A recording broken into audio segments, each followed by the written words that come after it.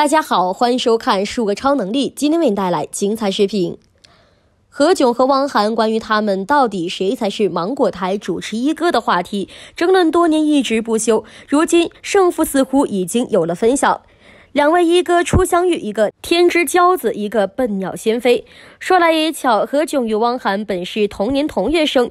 尽管后来何炅和汪涵在湖南卫视的地位不相上下，但两人的起点却是天差地别。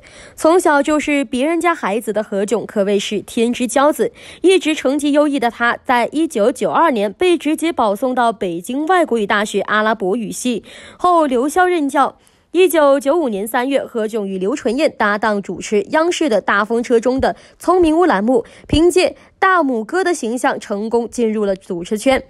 一九九八年三月，《快乐大本营》中的主持人离职，导致团队开天窗，何炅被拉来紧急救场。谁成想，这场阴差阳错的替班，何炅居然在《快乐大本营》一做就做了二十年。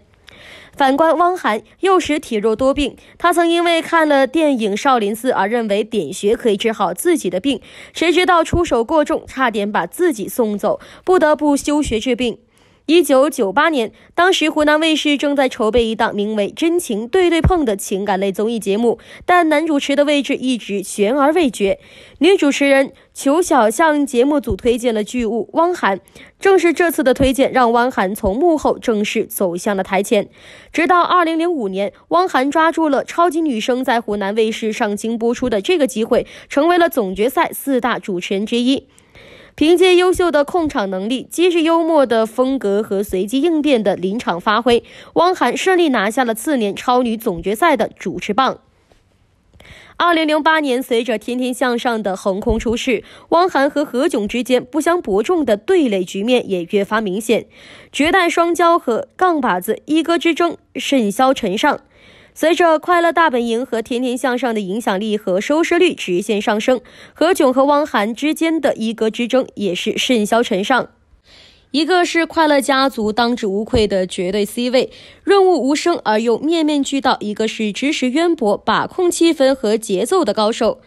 何炅和汪涵并列成为了湖南卫视男主持中的双王牌，也逐渐成为了湖南卫视各大晚会重点节目主持位的双保险。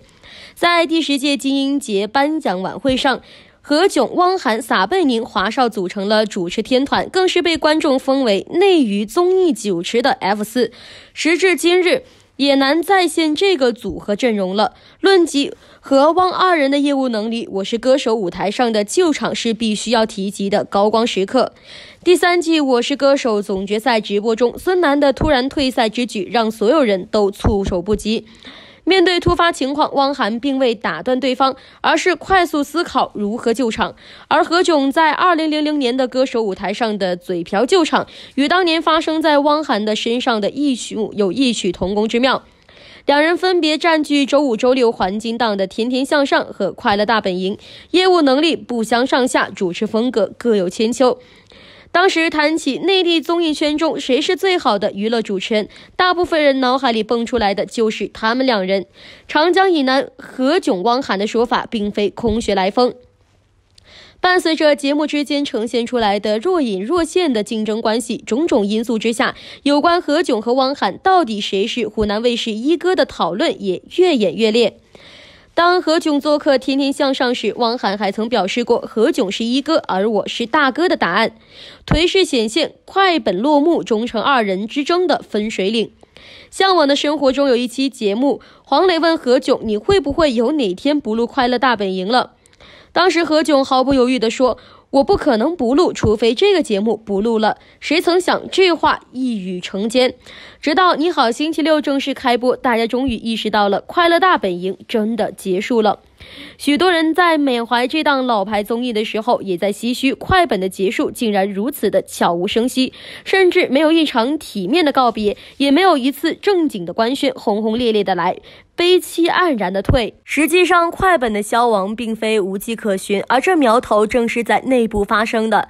从二零一九年开始，一向被称为是娱乐圈老好人的何炅，似乎遭遇水逆。之前被炮吃空饷之后，爆出粉丝送礼事件更是引来了官媒下场批评。而后父亲程老赖被强行执行，名声一次次的受到影响，这些都成了压垮何炅和腐朽快本的稻草。如果说这些新闻只是一些皮外伤，那么快本的停播才是让何炅真正伤筋动骨的根源。快本消失，何炅翻车，虽然每件事看起来都不足以崩盘，却都在慢慢动摇他在娱乐圈的根基。快到知天命之年的何炅这几年并不消停，而老伙计汪涵的境况也没有好到哪里去。从2008年开播至今，天天向上陪伴了大家十多年，在这段时间里，天天兄弟的成员也不断的发生改变。汪涵、欧弟、钱枫、田园、浩二、小五、俞灏明、高天鹤、大张伟、王一博，人来人往，兜兜转转。天天向上一茬接着一茬的调整了许多的主持人，相比于快乐家族的稳定输出，天天兄弟自始至终都是有些命运多舛的意思。欧弟退出，田园前锋丑闻缠身，小五号二难回节目。曾经熙熙攘攘的主持团队，现在仍是老大哥汪涵撑场。随着大张伟和王一博的加入，兼顾了笑点和流量，天天向上终于稳定了下来。可几番折腾下来，节目可看性和收视率早已是今时不同往日，节目热度也是节节败退。